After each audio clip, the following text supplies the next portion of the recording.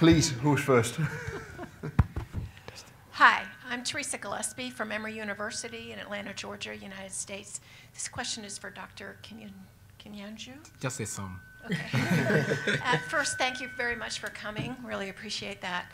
Um, second, you made the comment in your presentation that um, many of the clinical trials, or most of them, are driven by um, local needs and uh, input.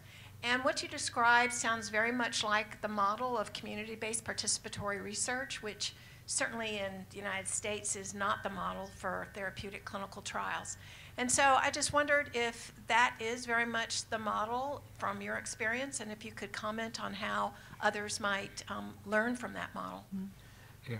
So uh, as I indicated, I think the traditional model, and which I think is still happening, unfortunately, in many places, is that it's driven from elsewhere. And my comment was that for us, because we have integrated uh, clinical trials as part of a larger research system, we are able to address uh, local um, questions which you would really struggle to think about if you are not on the ground. So I'm not pretending that we have this amazing community engaged, uh, participatory driven, driven. What I meant is that we're able to see, for example, the examples giving is, um, you know, until you have very good clinical surveillance system that can pick up the children that are dying in the first three hours of coming to hospital, mm. you'll be thinking about how do you treat malaria. You'll be working towards developing a malaria drug, but actually by realizing that uh, because your local place that the kids will die in three hours, you realize that it's not a parasitological treatment that is really lacking. It's something else completely. You need to correct uh, metabolic derangement that the children have by the time they come to hospital. So you'll start looking at a completely different type of clinical trial that will be almost impossible to do mm. if you are doing in the best advanced molecular biology or chemistry lab somewhere else. That's not to say the others are not needed, it's just to say that there are questions which are really hard to answer unless you develop the local research capacity. And to ask those questions, you need that capacity.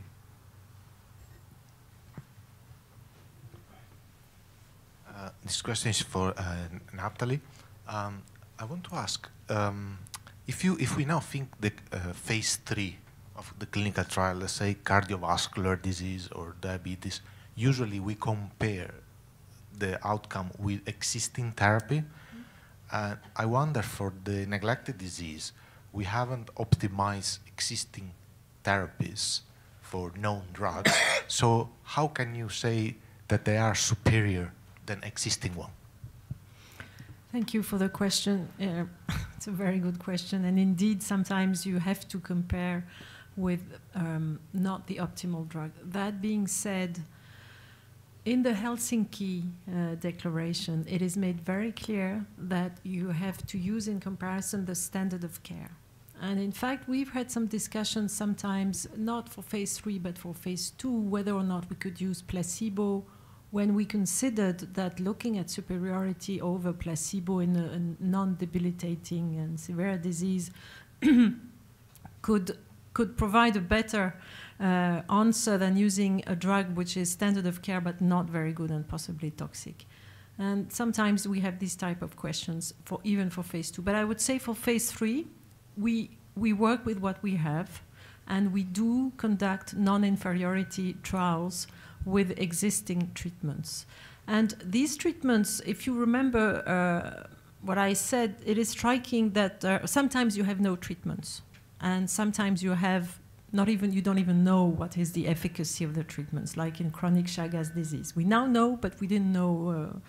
Uh, uh well, I would say a few years back, it wasn't solid evidence. So that, that makes it difficult. But when you have these drugs, like the drugs we have for sleeping sickness or visceral leishmaniasis, efficacy is really high of the treatments. It's about 93, 94%.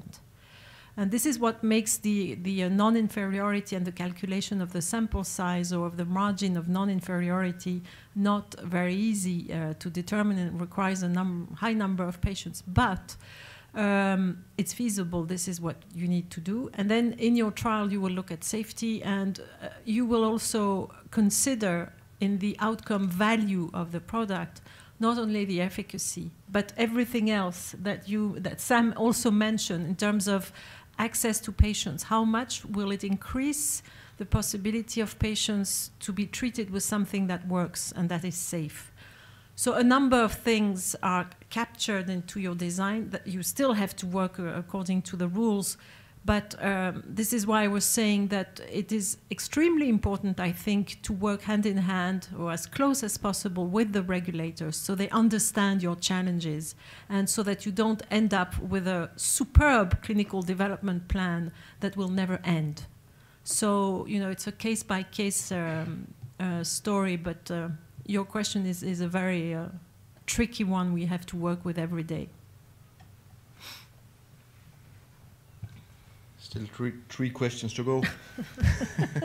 Luis? For the drink. um, so this is a question for, for you, Ole.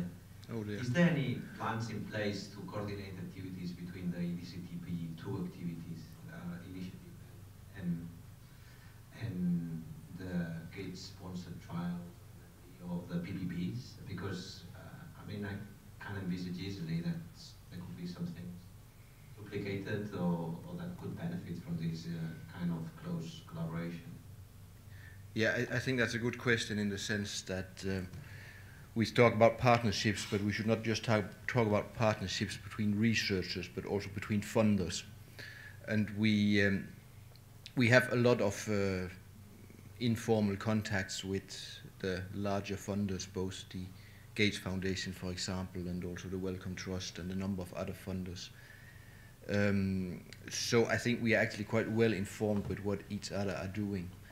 The problem in many cases, I think, is the each organization have their own rules, their own procedures, which sometimes make it difficult and challenging to actually meet. But that is some of the things that uh, I think indeed we should work on and become better as a community of funders to actually try to find ways how we can fund trials via different mechanisms, but in such a way that we don't duplicate but try to, to synergize. So I think we are quite aware of it, and I think there's an increasing interest. I feel that from other funders as well. I think leverage is the key word. Everybody's looking for collaboration and leverage so that we synergize with each other. Yeah.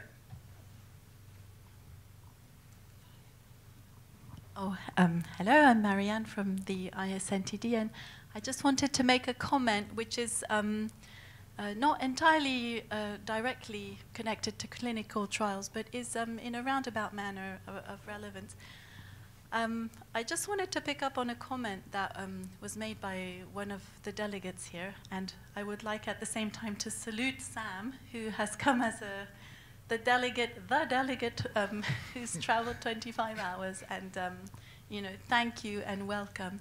And just to comment a little bit that um, as a science and an NTD community, we should um, definitely be aware of the barriers which exist um, to participating maybe acutely in the scientific meetings and perhaps just be quite aware in general of, um, of the barriers that exist. And at the same time, as we've been seeing throughout the day, seeing all these fantastic um, open source and collaborative initiatives, and also in Trudy Lang's um, presentation, which, which really showed that perhaps even without being able to resolve all these barriers, um, they might just become obsolete anyway, given the new communication and the, the new co cooperation and collaboration tools that we have. And the barriers I'm referring to are things like travel and distance or um, budget, sometimes even language. I mean, most of the meetings are um, in English and not um, everybody wants to or chooses to have English as their first language. So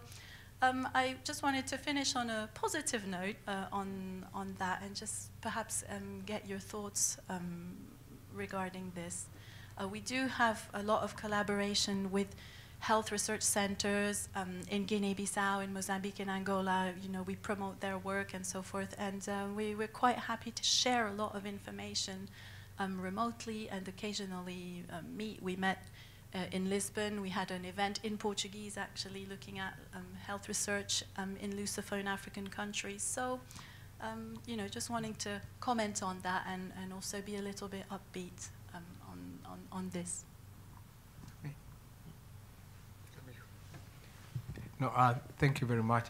Uh, you know, having said that I was the only one from, uh, in this case.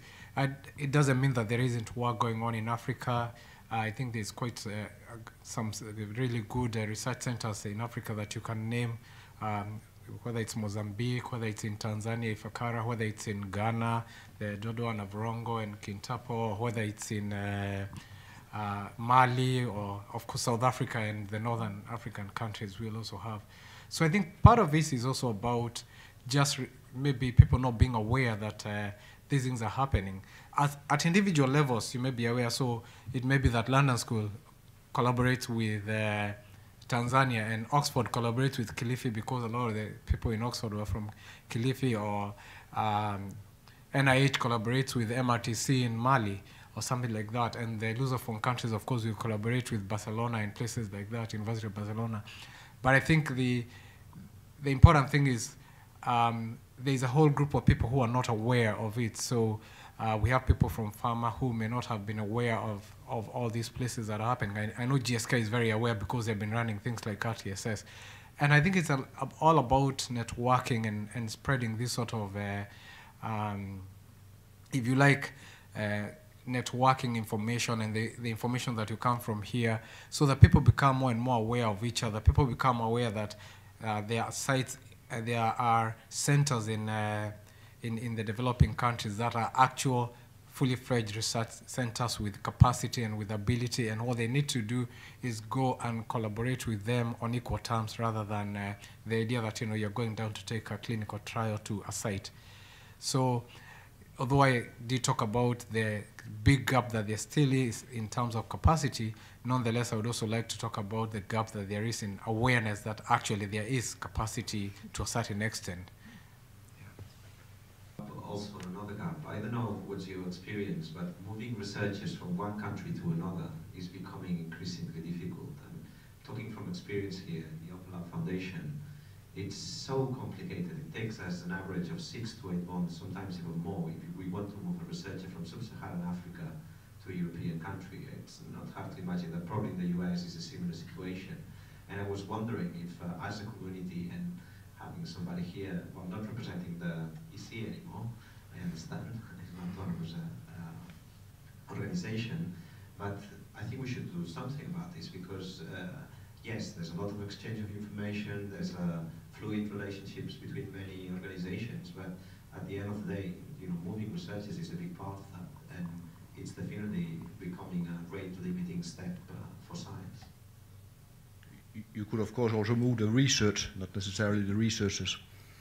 Uh, that's that's okay, but in many instances, that's the best way to use research. If having people, you know, from two different labs uh, sharing space and sharing ideas mm. in a mm. continuous manner. So at least that's the spirit of the open lab. And when when it does happen, eventually we see progress being made. So. Yes, just, just a comment from me, Martina Gliber, Fondation Mérieux. And I also wanted to thank very much the colleague from KEMRI for coming here. And uh, of course, we would have been happy to see more uh, African uh, participants, but we understand that that's not so easy. But I would like to just say that, um, as I mentioned this morning, we are supporting the African um, capacity building within the European Foundation Initiative for Res African Research into NTDs. And we, we trained, trained now more than 30 postdoctoral uh, African uh, researchers, um, also from, from KEMRI and elsewhere. And now these, um, these students, let's say these researchers, have expressed the need and the wish to become better networked and organized themselves within Africa and suggested the creation of an African research network for NTDs. And so we are starting discussions about that with other colleagues because, as Ole said, we have to get better organized with funding institutions and to create collaborations and partnerships to make it easier also for the African researchers to, to access funding and so on. So I think it's important to help this community of African researchers on NTD to, to, to better work, to better um, co collaborate within Africa, but also with European institutes. And also maybe to make some advocacy for the need to have research uh, on neglected tropical diseases and to strengthen capacities in Africa for that. So um, uh, the organizer said there is a need for, uh, for creating collaborations and partnerships. And if some of you are interested in, in, knowing more about what the African researchers expressed as needs for us, to us, for this African network, we would be happy to work together with, with you on, on that. Thank you very much. I, I have one question actually for Paul.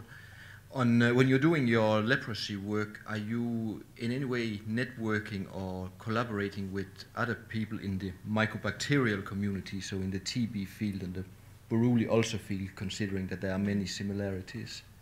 Yeah, certainly. Well, we are supporting a lot of work in Buruli ulcer, so there's a, a lot of synergy, not only in uh, the treatment, but also in the, the whole issue of morbidity management. And in fact, that is one area in which we are trying to integrate with a broader group of, of the NTDs, in particular lymphatic filariasis.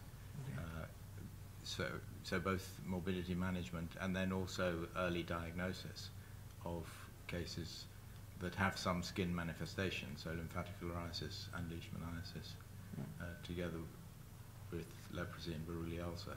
So, so that is still early, but, but they're very definite uh, attempts to, to integrate across those diseases. Mm. And with T TB, there's a much older partnership. Um, so in the, the 1990s, there were a lot of combined leprosy and TB programs.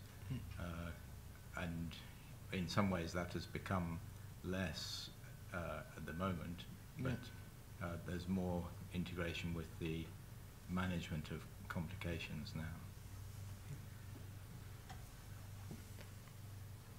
Any last questions? Otherwise, I think we are well done. Should we, uh, considering that we have uh, still managed to survive until now, give a hand for the panelists and yourself as well?